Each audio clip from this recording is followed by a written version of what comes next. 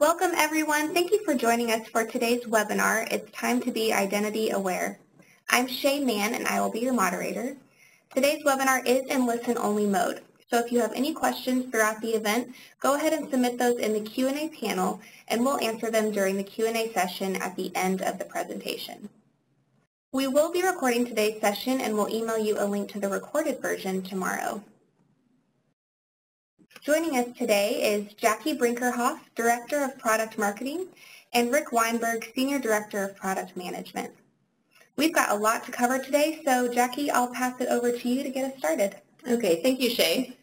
So just real quick, uh, to set expectations for our webcast today, the agenda will flow as follows. I'm going to cover today's security challenges and give you an insight as far as what's going on and transpiring in the market. And then we'll be handing it over to Rick to handle uh, and discuss about what is the identity aware enterprise and what does that mean to you? And how does that uh, manifest as far as how SailPoint can address that? So it's really no surprise that data breaches are the new normal. Each morning we wake up and it's not uncommon to hear or read about the latest incident that's transpired in the news. And so why is this the case, you may wonder? Well, exposure points have exploded. And so what does that mean? Well, most companies, probably just like yours, we've all been going through what's called a digital transformation. And unlike the days of old when we as employees used to show up and go to the office and access the network and do our work and then go home at the end of the day, this digital transformation has completely changed that, the way that people are doing business now. We've started to incorporate now open business borders, which make it easier to, for people to collaborate.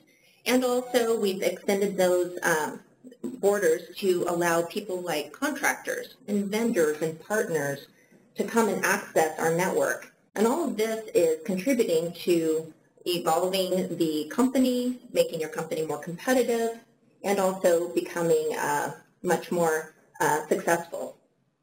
So these open business borders also provide a lot of convenience. So that way people can be doing work from anywhere across the globe and at any time. But if you can imagine, if you, you don't have to be a mathematician, but if you start multiplying the number of the number of applications and the access that takes place, there's a lot of exposure points, a lot of points of access that actually gets included or uh, brought forward. And with every point of access is a point of exposure.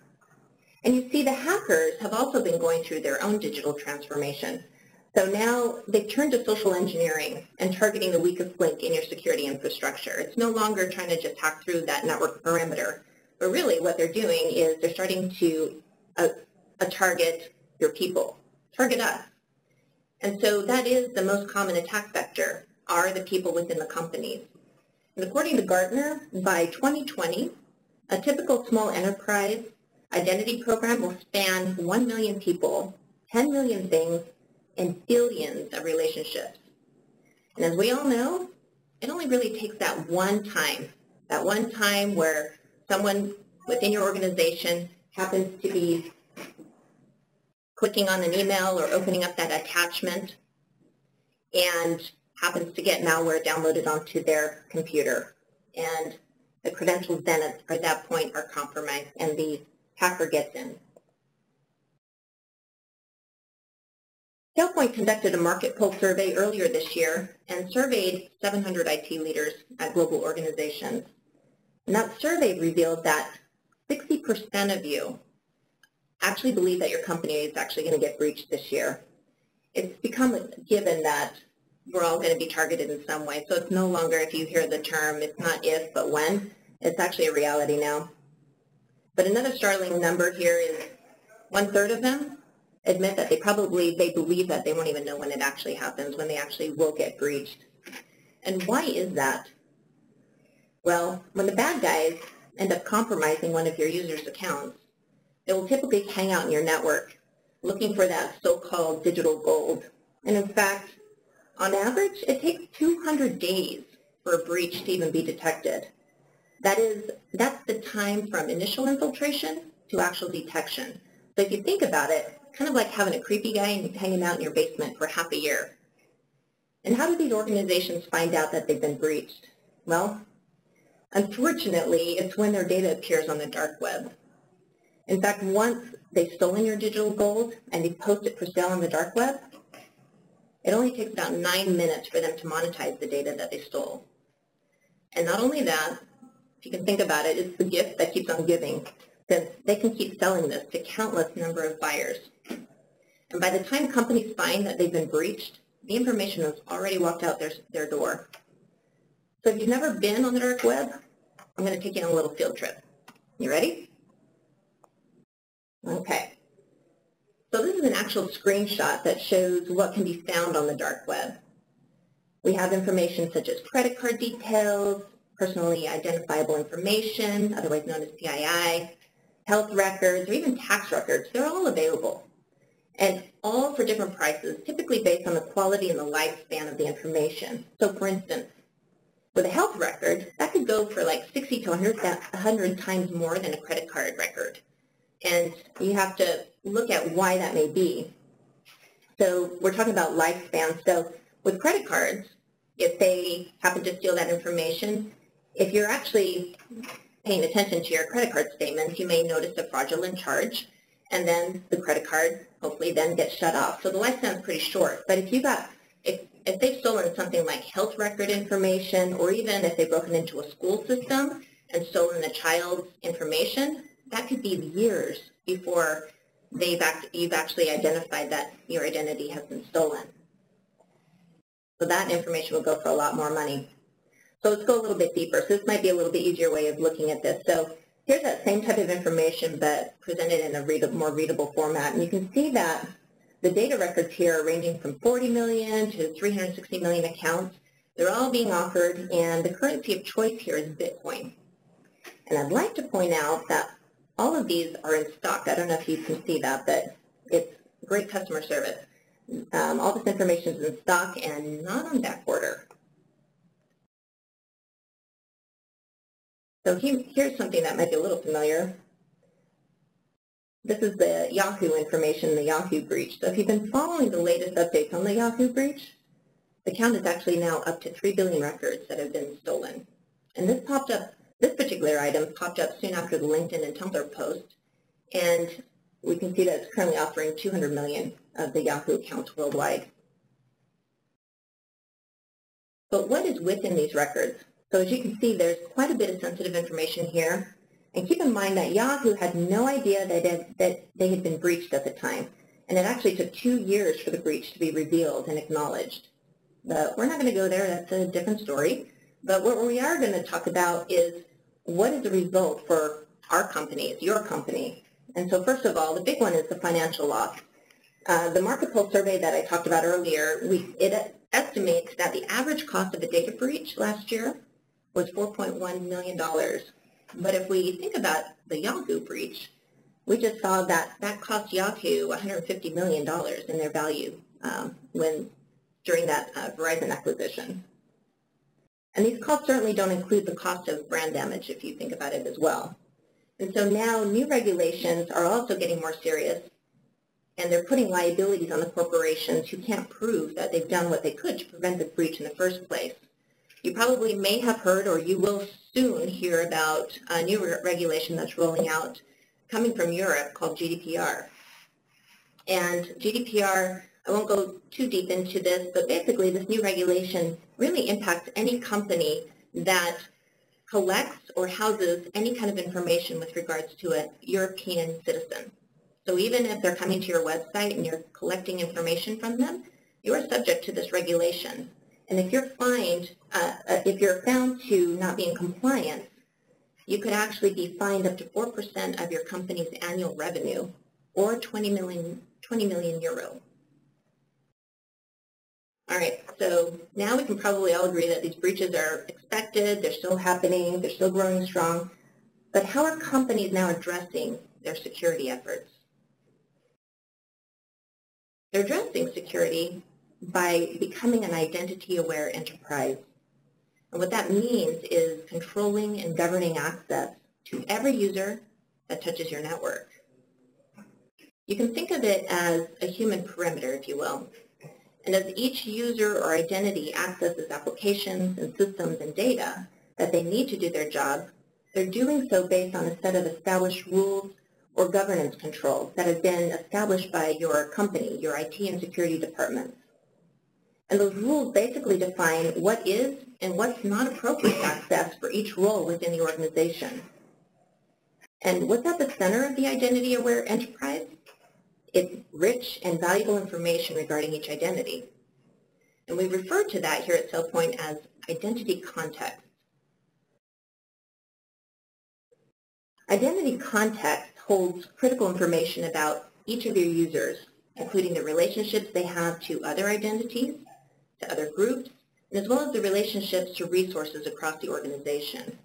And it houses information about the state of the identity, the policies that apply to the identity, any governance controls, meaning such as user IDs and information, and as well as the history of what that identity has accessed. What makes this so valuable is all the context not only powers your identity governance program, but when placing identity at the center of your IT and security infrastructure, you can actually share that across the IT and security investments that you have, and that will work to enrich and up-level what you're currently getting out of those investments. So in short, identity context basically helps make security policies more identity aware, and in turn, make identity policies more security aware. So at this point, Rick, I'm going to hand it off to you, and you don't mind, let's go a little bit deeper. Okay. Thanks, Jackie. Hi, everyone. I'm going to talk through a little bit about SailPoint's approach to identity governance. And really, the, the term governance itself, you know, people ask me all the time, what do we mean by that? It can be a pretty broad term. Uh, but when you really break it down, it's enabling organizations to be efficient, compliant, and secure. Uh, and so this, you know, allows many of you, when you have it, to, to really gain more sustainable confidence to, to execute and grow the business. Um, so how do we do that? Well, one of the first things we look at to be efficient are some things like, you know, enabling day one provisioning. That, that's really allowing users to quickly get access required in the day that they start their job. Uh, at the same time, you know, we always recognize that, you know, all the access can't be prescribed. So there needs to be a means to simply allow for self-service access request uh, that really empowers the end users to request the access they need, you know, rather than letting a, a manual request trickle through the help desk. Um, another significant challenge uh, here to maintain efficiency is during a job change. Whether an employee who got promoted or say a contractor took on a new project, there's transition time that's needed uh, to ensure that, that workplace continuity. Uh, movers need their old access for at least a few weeks, if not more, while they transition out of their old role. And of course, what often many times happens is organizations fall into the trap of, of not letting that access go away in the transition time. Um, and finally, you know, there's an expectation for tight integration with, uh, for large organizations, often multiple HR sources, uh, as well as service management solutions that really enable you know organizations to leverage SailPoint quickly and you know offer end users to to have much more closed loop visibility to any help desk ticket, ticket that they've uh, you know have that to ensure it's been completed. Be compliant, right? SailPoint really helps you pass uh, internal audits, or you know, or adhere to regulatory mandates like GDPR that Jackie mentioned, or HIPAA, SOX. You know, and we do so by really delivering relevant identity audit trails and periodic certification of access, really assuring the right users have the right access at the right time. Uh, now, many organizations have, you know, some process in place to being compliant, but is it truly scalable? Is it really sustainable? You know, what we're often seeing now with many of our customers is, you know, more and more applications are being governed as they scale out their identity governance deployments. Uh, but as you do that, the byproduct is it can add more compliance fatigue to the managers that are reviewing that access.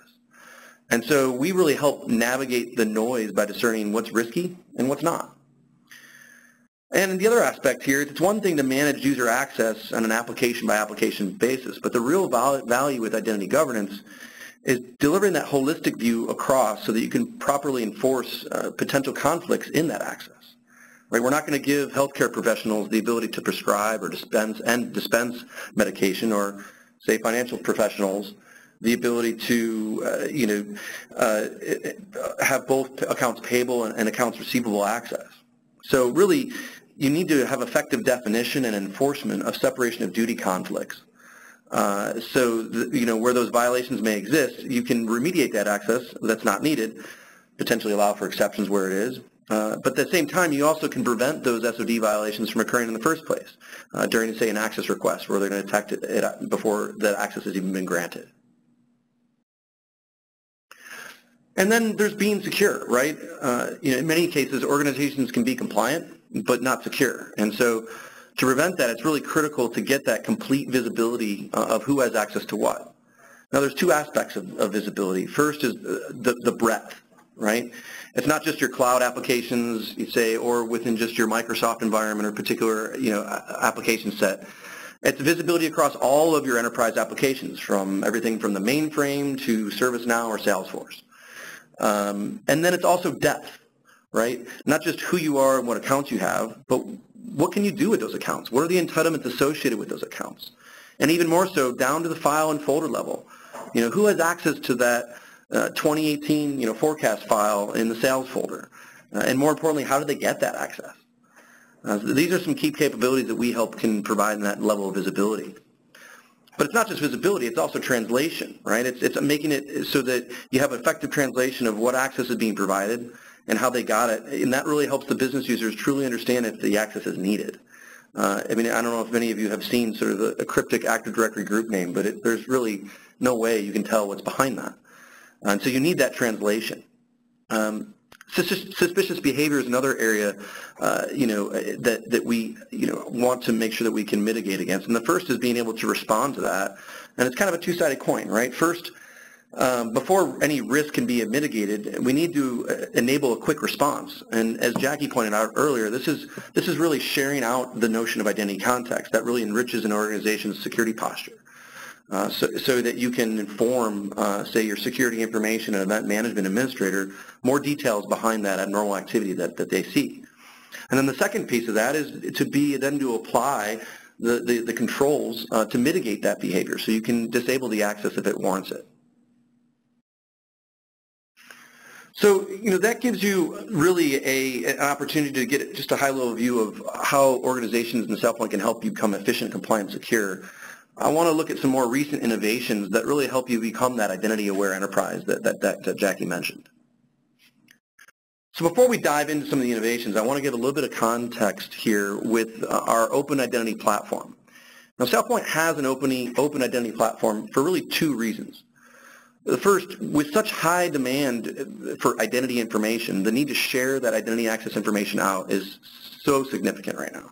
We see, we, we, we, make, we really want to make this easily available so we can share that identity context uh, out uh, to the broader IT ecosystem, as well as the second piece is, is how you can mitigate that risk by, again, applying those identity controls, whether that's done natively within SailPoint or invoked from a third party, uh, whether it's, you know, that would be invoking controls like a policy violation or disabling the account or triggering a certification.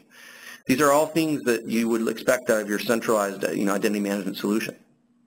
Now, so SailPoint, you know, takes this this open approach, uh, and and when you look at this uh, platform, it really is, is, is split into three tiers. You have our top tier of the core identity governance services, things like access request, identity analytics, provisioning.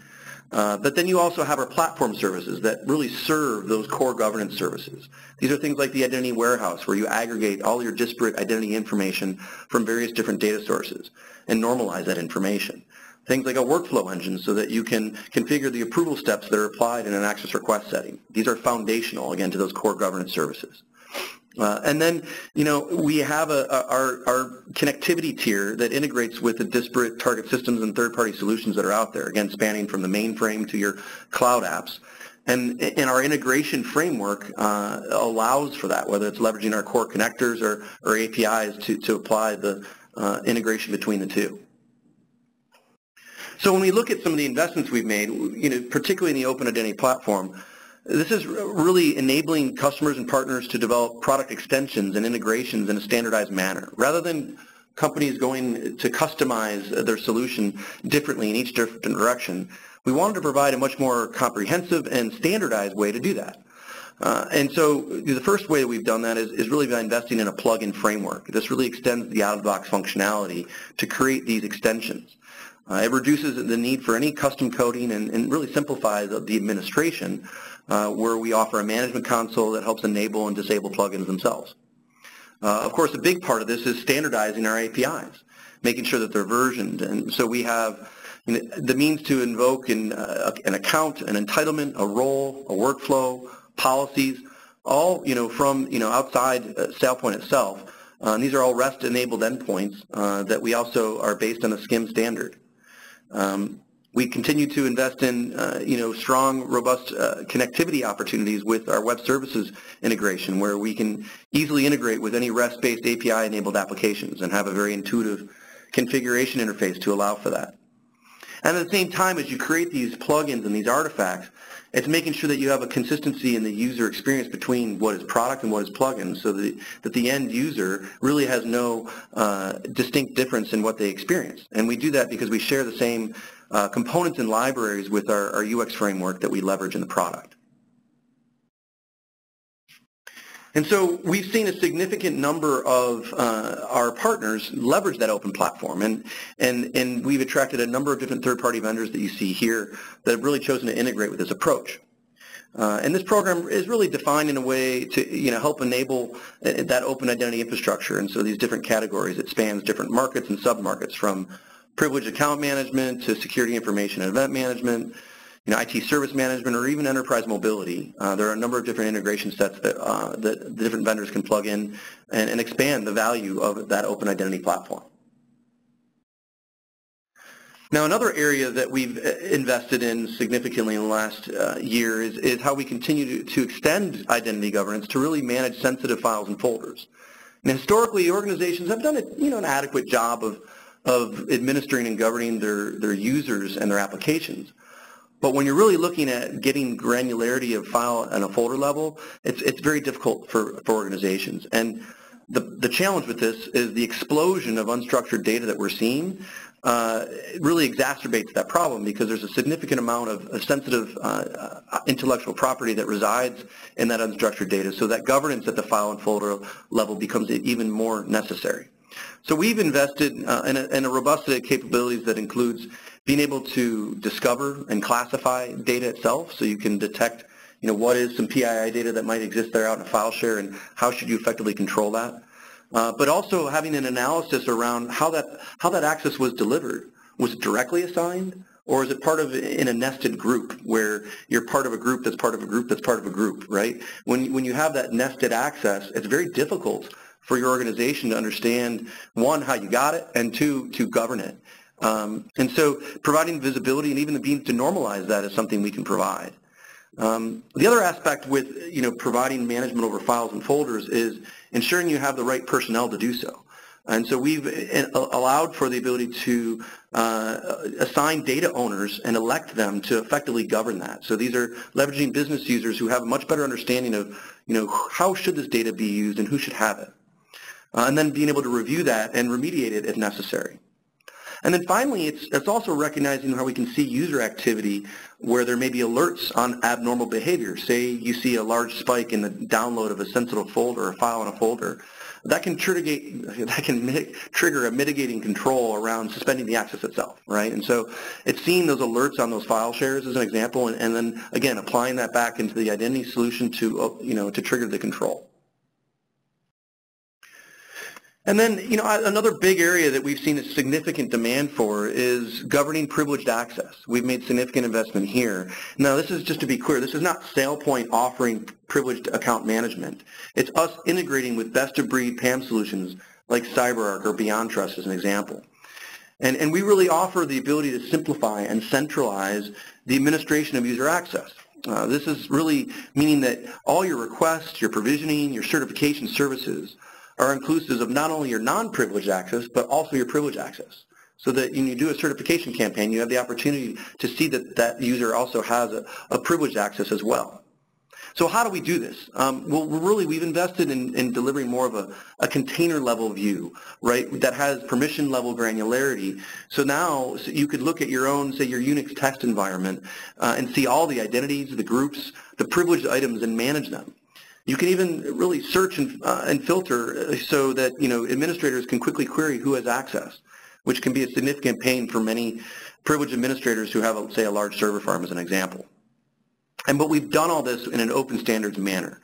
You know, the integrations I mentioned with the third parties is using a SCIM-based integration, which really allows for much more rapid deployment and, and really a greater return on your existing PAM investments that you've made. So I thought we'd now take a moment to walk through really what an identity-aware enterprise actually looks like. Uh, and, and, we have an operational scenario here we want to, to work through with you and, and showcase. This is Billy, and Billy is part of our fictitious company here. He's he's worked uh, here for several years. Just came out of college after graduation and has been here for you know, I think about seven years now. And you know he currently works on the, the say the web content team and and frankly at this point knows practically everyone in IT and the company itself. Now he's been employed long enough to, to have acquired frankly lots of entitlements, or as we like to call it, entitlement creep. Uh, so, you know, these are, you know, access that continues to be granted as Billy has, you know, moved on to different projects or moved on to different roles. Um, so he's got a lot of accounts with a lot of access.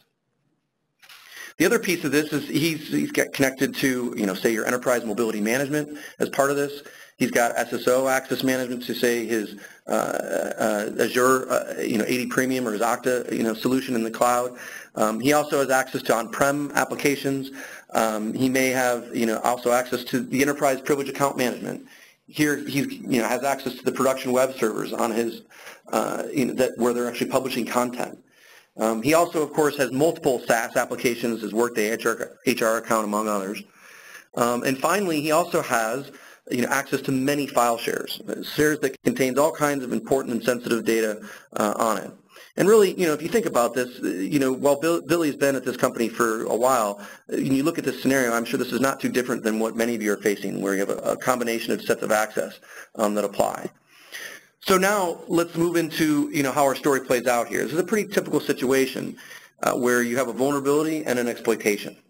You know, unfortunately, Billy, you know, like many other employees that we see in the workforce, you know, has been using his company laptop for personal reasons. And, and, and, and, as you might expect, he you know, downloaded some dubious content, which unfortunately contained a zero-day vulnerability. So what's happened here is Billy got owned. you know, the bad guys got, you know, really got a keylogger wedged into his desktop. And so when Billy came in to the office the next day, he logged into his SSO account, and then he moved in and accessed his PAM vault. Uh, and then from there, he went into his company's file servers, and during this whole time, the bad guys were watching. And so now they have access to everything. Uh, one of the malware packages that the bad guys deployed contained a WannaCry variant, you know, which we know is not great news. And it, it started encrypting the files and in the finance share. So this is just an example of how things can get exploited and, and through that access get applied to some very sensitive IP. Now this is really where the identity-aware environment can kick in and start providing some of that enhanced detection. You know, fortunately in our scenario, Billy's company has leveraged you know, SailPoint's identity governance to, to, to their file shares. So the technology was watching and monitoring the file share like a hawk. Uh, you know, and so you immediately noticed that there were odd behaviors happening, and frankly, this is the telltale signs of a ransomware encryption. You know, at the same time, you know, we're watching over the access to the applications and the systems picked up the lifecycle triggers. You know, as the bad guys use Billy's account to pull lateral movements and escalation of privileges, they've done that within the rest of the environment that was really, fortunately, identity aware in the process. But this started the alarm bells going off. You know, at the same time, this is because this is an identity-aware environment. Billy's company has implemented a use of identity analytics, and this, you know, really allows you know to have you know all three solutions being integrated and working together and applying a much you know, smarter approach to governance itself. You know, and all this data within the solution is available, you know, as Jackie pointed out earlier, this identity context, right? It's, it's about having the relationships, the states, the events, the history, the policy, and the controls, uh, so that you can have, you know, your configurations and, and how that's connected to the rest of the infrastructure. And in this case, we want to make sure that that identity-aware infrastructure is listening and consuming to that, that context that we're providing.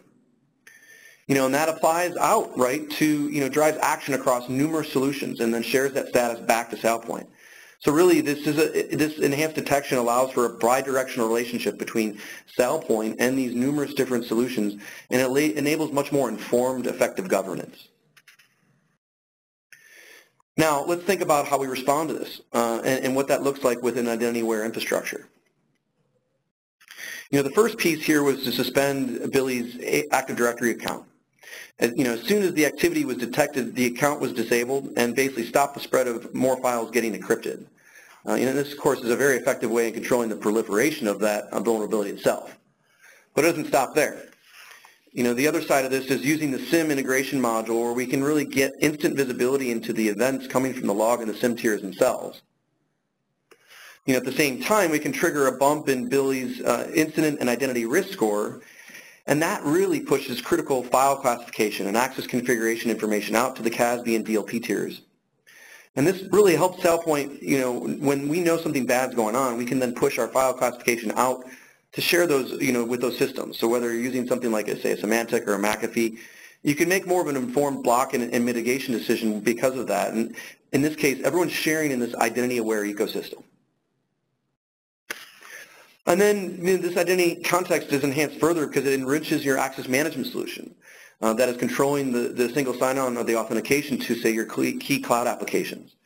You know, at the same time, it might be able to apply a different MFA policy that enforces, you know, for all of Billy's current and future sessions, so they can shut down access in real time and also ensuring that there's a stronger form of authentication the next time that Billy tries to log into the system.